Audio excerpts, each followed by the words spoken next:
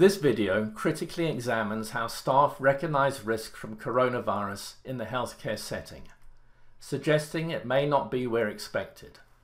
Globally, within a short space of time, this virus has challenged our approach to daily life, including rethinking infection control practices. It is less than four months since this virus was first recognised, so we are learning and adapting in a rapidly changing environment as shown here. Where there is sustained transmission of COVID-19, we now regard any patient, irrespective of symptoms, as a risk. At the top of this slide is a timeline starting three days before a case becomes symptomatic. Infected individuals may excrete the virus three days before the onset of symptoms. This may lead to transmission as described in this publication from Singapore. Data from China suggests one-eighth of transmission events were from pre-symptomatic individuals.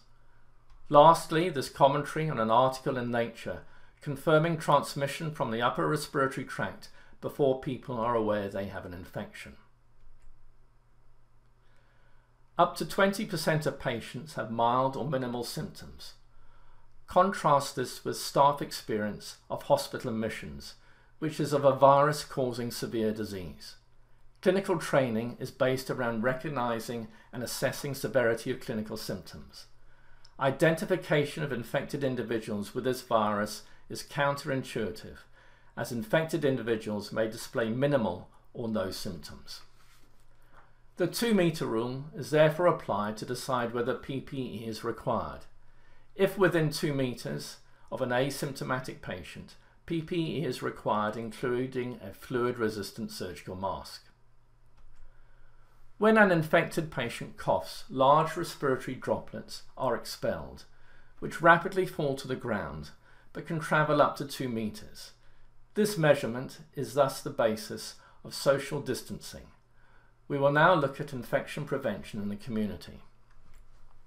Social distancing is a key effective infection control practice in the community, utilised not just by the general public, but by many businesses. To help limit the number of people in store at once, you might be asked to queue when you arrive. We ask you to stand two metres apart, the markings on the ground will help. There'll be a cleaning station to clean a trolley or basket. We ask that you keep this distance at the checkout too. The screen is to help protect us and you.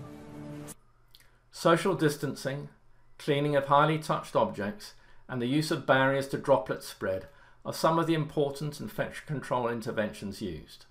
Let us return to the healthcare setting. Infection control guidance is based around preventing the transmission of infection from patients. In our minds, we create a divide with patients and infection on one side and staff on the other. Microbes do not observe boundaries. What is the risk from staff? Returning to the criteria for regarding every patient as a coronavirus risk, let us apply this to staff. Is there sustained transmission amongst staff? The answer is yes, but this is likely to be at a higher rate than in the community due to the large number of infected individuals in hospital. Thus, an asymptomatic patient from the community for whom staff take precautions is likely to be a lower risk than colleagues with whom we often take no precautions. Staff naturally work as teams, often in close proximity, less than two metres apart, for prolonged periods of time. Asymptomatic staff, as would be expected, have tested positive for SARS-CoV-2 virus. Therefore, should the 2 metre rule on PPE not also be applied between staff? Staff are good at observing the two metre rule with patients, but apply the rule poorly between themselves. For example, these two healthcare workers who don't know each other are in close proximity whilst at work, but would behave quite differently in the community and socially distance, the red circle indicating the two metre distance. Colleagues naturally come up to you with charts, tablets or mobile phones and invade the two metre space. In the supermarket, where breaking the two metre rule is a necessity, as at a checkout, screens analogous to a surgical mask and eye protection are used to interrupt droplet transmission. The sessional use of masks will reduce the risk from when staff must come within two metres of each other in clinical areas. The mask reduces the risk of transmission from unrecognised infected individuals, as well as protecting uninfected staff. But it's important to realise preventing infection is more than PPE. It is also regular cleaning of surfaces, hand decontamination, not putting your hands near your face, and obeying the two metre rule when, when not wearing PPE. It is difficult to accept colleagues with whom you have worked in close proximity for years as being your highest risk of acquiring the virus within the hospital. Additionally, our natural instinct is to gravitate towards each other, breaking the two metre rule to facilitate communication. Social distancing is well established in the community and some industries.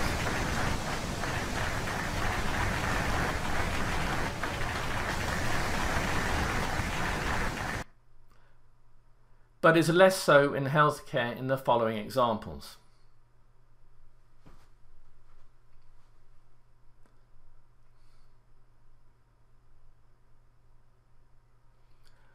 Social distancing, public health education is almost exclusively aimed at the general public.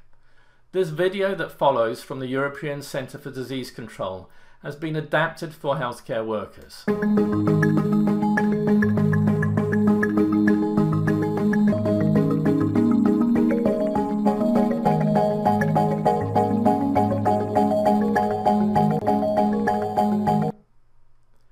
It is most important you look after yourselves. You are doing a wonderful job. But remember, the risk may not be where you think it is.